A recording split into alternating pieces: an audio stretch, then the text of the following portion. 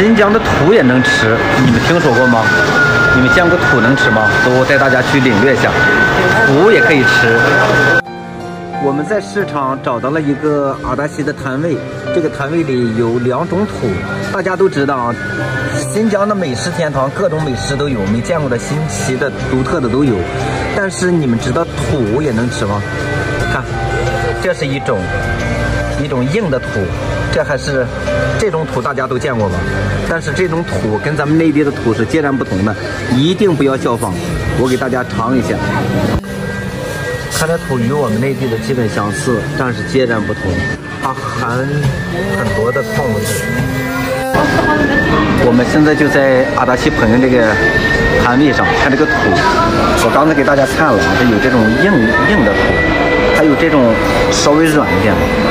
大家千万不要效仿，这种土不是咱们内地所有地方都是普通的土，它这种土是微量元素特别高的，人这个土就是本身就能吃的。我给大家尝一下，看看是什么味道。